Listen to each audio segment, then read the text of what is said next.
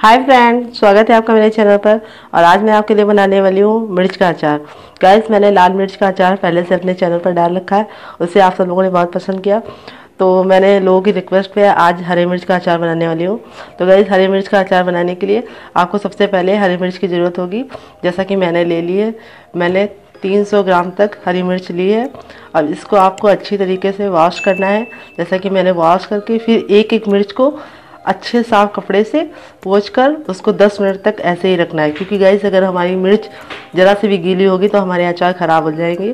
तो मैंने ऐसे करके रख लिया है। ये देखिए, अब मैं आगे की प्रिपरेशन करने वाली हूँ। तो गाइस हमारे ये देखिए, मसाले अच्छी तरीके से ठंडे हो गए। मसाले को ठंडे करना बहुत ज़रूरी है, क्योंकि तभी इसका पाउडर अच्छा बनता है। तो ये देखिए, बहुत ही क्रस्पी है, अब इसको हम अच्छी तरीके से इसका दरदरा पाउडर बनाएँगे। हम ज़्यादा बारीक नहीं बनाएँगे, क्योंकि मचा, अचार में दरदरे पाउडर ही ज़्यादा अच्छा लगता है। तो गाइज़ हम इसको पाउडर बनाने वाले हैं। तो गाइज़ अब इस पाउडर में हम हल्दी डालेंगे। हमने थोड़ा दरदरी हल्दी ली है, क्योंकि हमें इसे पाउडर बनाना है। अब इसका हम अच्छी तरीके से पाउडर बनाने वाले हैं। अब हम मिर्चे के लिए मसाला बनाएँगे।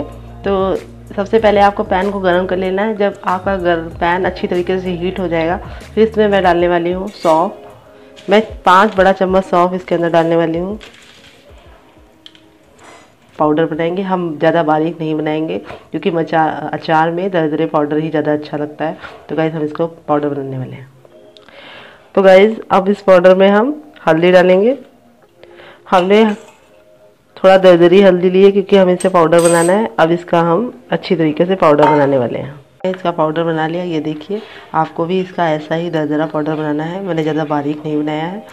फिर इसके बाद इस पाउडर को आप बना मिर्चे में अच्छा रंग आता है और ये बहुत ही अच्छे लगते हैं मिर्चे। इसके बाद मैं इसमें ऐड करने वाली हूँ। रहेगा। तो गैस हमारा तेल अच्छी तरीके से गर्म हो चुका है। अब इसको हम ठंडा होने के लिए रख देंगे। तो गाइस हमारा तेल अब ठंडा हो गया है। अब इसमें मैं अचार ना ख़राब होने के लिए सबसे मेन चीज़ ऐड करने वाली हूँ, जिससे अचार हमारा सालों साल ख़राब नहीं होगा। तो गाइस आप इसे ऐड करना ना भूलिए।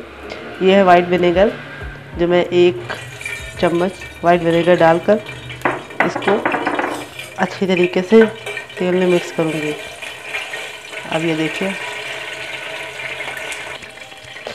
तो गाइस अब इस तेल को हम अपने मसालों में ऐड करेंगे और मिर्चों को भरेंगे।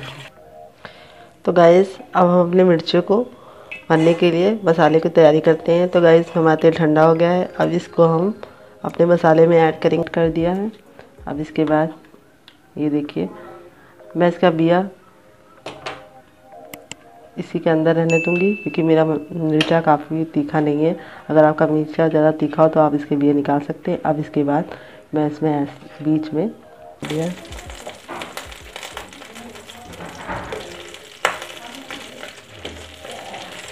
अब इसे आपको ऐसे ही दस मिनट तक कुक करना है। अब इसे बीच बीच में हिलाते रहिएगा, लेकिन पलटने की ज़रूरत नहीं है। तो गाइस ये देखिए हमारे मिर्ची अच्छी तरीके से कुक हो रहे हैं। अब इसे हमें हल्का हल्का सा हिलाना है, ज़्यादा मैंने 500 लाइक का टारगेट रखा है। आई होप आप लोग इसे पूरा करेंगे। तो गाइस अब मैं इसको डिब्बे में रखने वाली हूँ। तो गाइस ये देखिए, हमने अपने मिर्ची के अचार को डिब्बे में निकाल लिया है। अब इसके बाद मैं जो अपना बचा हुआ तेल है, वो भी इसके ऊपर डालने वाली हूँ। तो गाइस मैंने अपना बचा हुआ तेल भी इसके अंदर डाल दिया है। अब इसके बाद ये बिल्कुल रेडी है और मैं इसको रख दूँगी और मैं अगर चाहूँगी तो अभी भी खा सकती हूँ, लेकिन मैं इसको दो तीन दिन रख के खाऊँगी तो इससे इसका फ्लेवर और ही टेस्टी हो जाएगा। तो गाइज़ मेरा मिर्ची का अचार डन है। आप भी इसी इसी तरह बिल्कुल ईजी तरीके से मिर्ची का अचार बना सकते हैं और इसे बहुत ही टेस्ट में बहुत ही बढ़िया है।